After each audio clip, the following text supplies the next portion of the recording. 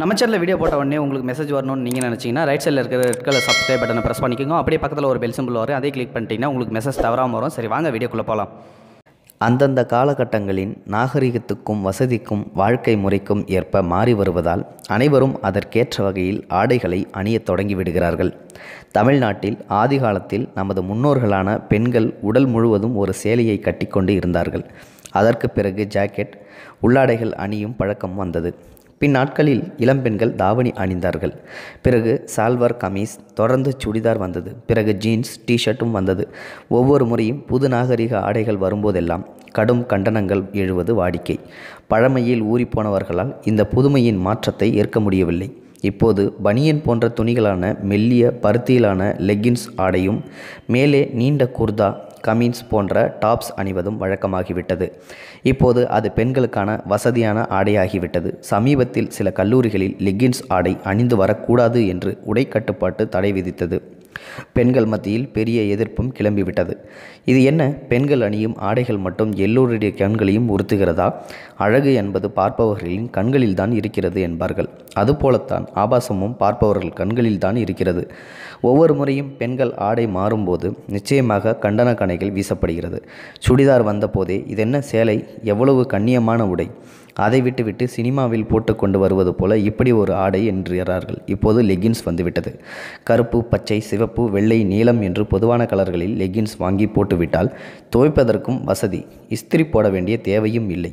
ஒரு நீண்ட குர்தா போன்ற மேலாடை அணிந்து விடுகிறது வசதியாக இருக்கிறது என்று சொல்லும் பெண்கள் அது சரி பெண்கள் ஆடை பற்றி விமர்சனம் செய்வோர் கால் சட்டைகளை அணிந்து வலம் வரும் ஆண்கள் பற்றியோ வேட்டியை லுங்கியை மடித்து அண்டர்வேர் தெரியும் அளவுக்கு ஆண்கள் பற்றி மேற்றும் எதுவும் சொல்லாமல் வாய்மூடி மௌனியாகவும் இருப்பதும் ஏன் என்கிறார்கள்.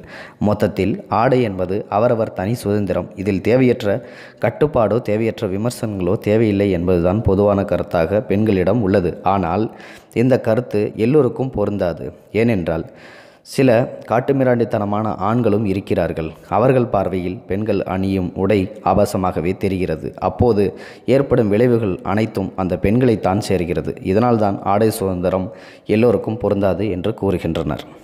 எது பெண்ணே ஆடை சுதந்திரம்? இரவு ஆடையை அதாவது நைட்டி பேண்டில் உடுத்திக்கொண்டு அடுத்த தெரு வரை செல்வது ஆடை சுதந்திரமா? கொண்டவன் காண வேண்டியதை கண்டவன் நோக்க கட்டும் ஆடையா? இளமை அளவை எடுத்துக்காட்டும் உடலை ஒட்டிய கணித ஆடையா? எது ஆடை சுதந்திரம்? பண்பான ஆடை உடுத்தி வெளியே செல்லும் பெண்கள் மிக மிக குறைவே. பல பேருக்கு துப்பட்டாவின் பயனே தெரிவதில்லை. கேட்டால் பெண் சுதந்திரம் என்கிறார்கள். ஆபாசம் பெண் சுதந்திரம் என்றால் ரசிப்பது ஆண் சுதந்திரம் தானே. பார்ப்பவர் கண்ணில் பிறந்தது முதல் தந்தை மாமன் சித்தப்பா பெரியப்பா இன்னும் பல பேரை மேலாடை இல்லாமல் பார்த்த நாம் விவரம் தெரிந்து நாம் அமுதுண்ட தாயின் மார்பை கூட பார்த்ததில்லையே. அதுதானே நம் மனித பண்பாடு. பார்க்காத ஒன்றை காட்டும்போது மனசு அலைப்பாய்வது இயல்புதானே. மேலை நாட்டை உதாரணம் கூறுகிறாய். சரி நாமும் நண்பர்களாகவே நடு ரோட்டில் நாய் முத்தம் கொடுக்கலாமா? என்றால் நம் கலாச்சாரம் என்னாவது என்கிறாய். என்னம்மா இப்படி பண்ணுறீங்களேம்மா மேலே கூறியது மட்டும் நம் கலாச்சார உடையா? சரி அப்படி நடந்தால் மட்டுமே சரியாகி விடுமா என நீ கேட்பது புரிகிறது. என்ன செய்ய? தாயையும் தாரமாக பார்க்கும் காட்டுமிராண்டி ஆண்களும் இருக்கத்தான் செய்கிறார் தற்போது உள்ள நம் குழந்தைகளுக்கு விடுதலைக்கும் சுதந்திரத்திற்கும் இடையே உள்ள வேறுபாடு பற்றி சரியான புரிதல் இல்லையே. பாரதி போன்றோர் வேண்டியது பெண்ணிற்கான விடுதலையைத்தான்.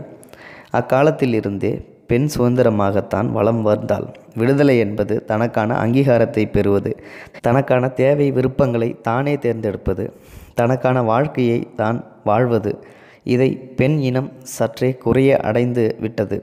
ஆனால் சுதந்திரம் என்ற பெயரில் எரிகிற கொல்லிக்கட்டையால் தன் தலையை தானே சொரிந்து கொள்கின்றனர். விபரம் அறியா பெண் இனத்தவர். ஆடை குறைப்பு இது முகம் சுளிக்க மட்டும் வைக்கவில்லை. அநேக தவறுகளுக்கு மறைமுக தூண்டுதலாகவும் உள்ளது. சில அறிவுஜீவிகள் உடையல்ல. பிரச்சனை உங்கள் பார்வையே தவறு என்று வாதிடலாம். பிரச்சனை பார்வையாகவே இருந்தாலும் பாதிப்பு என்னவோ நம் பெண் குழந்தைகளுக்கு தானே. பெற்றோர்கள் மனம் வைத்தால் இக்கலாச்சாரத்தை அடியோடு ஒழித்து விடலாம். சிறு வயது முதலே தன் பெண் குழந்தைகளுக்கு ஆடை பற்றிய புரிதலை உணர்த்துவதோடு ஏற்ற ஆடைகளை மட்டுமே வாங்கி கொடுத்து அதை மட்டுமே உடுத்தும்படி அறிவுறுத்த வேண்டும். ஆடை கண்ணியத்தின் அடையாளம். அதை நாம் கண்ணியத்துடன் கையாள்வோம். இப்படித்தான் எல்லார் வீட்லேயும் நம்ம இனிமேல்ட்டு நம்ம பெண்களை வளர்க்க வேண்டும். ஆடை என்பது அவரவர்களின் தனிப்பட்ட விருப்பம். பெற்றோர்களே வெறுக்கும் அளவிற்கு உடை உடுத்துவது தவறுதான். பெத்தவங்களை கஷ்டப்படுத்தலாமா? கூடாது தான் ஆனால் தவறு பெற்றோர்களிடம் உள்ளது. தமிழில் கண்ணியம் என்றொரு வார்த்தை உண்டு. அதை சொல்லிக் கொடுங்கள். என்ன நீங்கள் பிறம்போக்குத்தனமாக பேசுகிறீங்க அப்படின்னு சிலர் சண்டைக்கு ரெடி ஆப்பில் இருக்குது எல்லா விதமான உடைகளிலும் ஆபாசம் உண்டு.